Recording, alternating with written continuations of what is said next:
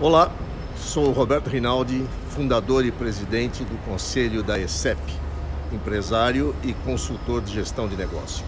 Sirvo na causa da educação cristã há quase 30 anos, inicialmente pela preocupação com meus filhos e entendendo a responsabilidade bíblica de ser pai. Tive escola, atuei na liderança de igrejas, conheci vários ministérios e acompanho os desafios da educação no Brasil e no exterior. Quero repartir com vocês o que aprendi diante de tantas mudanças que temos enfrentado, discernindo a cultura e aproveitando oportunidades e recursos para formar a próxima geração com a verdade. Temos o privilégio de poder expressar o reino de Deus em nossas vidas e realizações, com excelência e alegria pelos resultados. Espero você no dia 31 de outubro com uma multidão de educadores e amigos da causa.